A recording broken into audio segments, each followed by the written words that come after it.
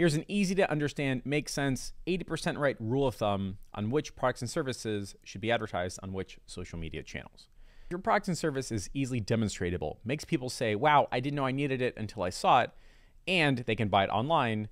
Facebook, TikTok, Instagram, and Pinterest tend to be the really best first step.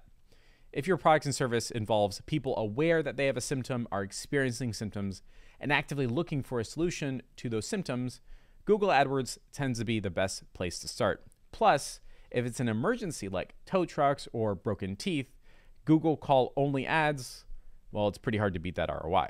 And then finally, if your or service requires an orientation or indoctrination, like they got to watch a 90, 120 second, or two minute video before they know what you do, and then you got to quiz them first, well, YouTube tends to be that next best step. Again, there's always exceptions to these rules. We're trying to be 80% right and get something up and running quickly, but that's how we think about which products and service should be advertised on which social media channel.